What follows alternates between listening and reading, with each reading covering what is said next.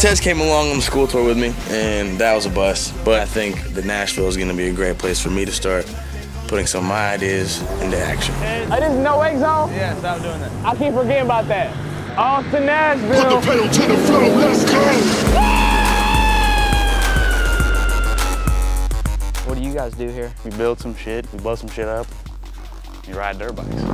What do you think you want to do for the rest of your life? I have no idea. No idea. Do you even know what you want to do tomorrow? Depends. I think it's gonna rain tomorrow. We're going to be getting money today. You know, I'm up here on top of the sea can for it right now. How do you plan on coming down from there? What y'all doing out here? Out here trying to find new business ventures, come up with great ideas. He said it. Nash, what do you think about a Zan game? Video, like a game of Zan. Yeah. Is it gonna work? I don't know.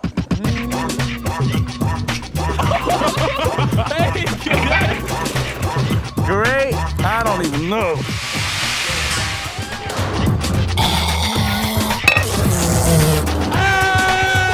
Stop goofing off, come on.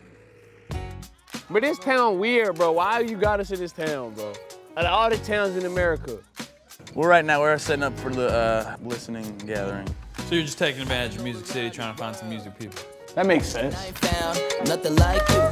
Please get me off this goddamn mic. You mean you got any good ideas or anybody you know that Of course, has I any have good ideas. You shouldn't even have to ask for that. That's disrespectful. We love that. We're in the food truck right now. I'm loving the vibe in here. So what we have here, guys, is the first small pillow. Bro, put your head on that pillow.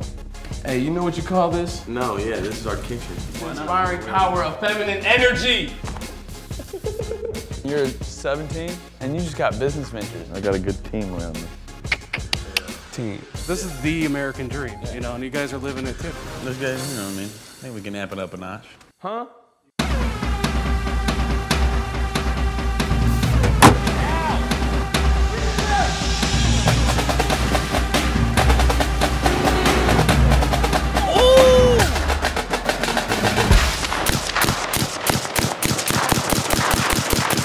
When's the last time you caught a fish? About yesterday. What kind of fish was it?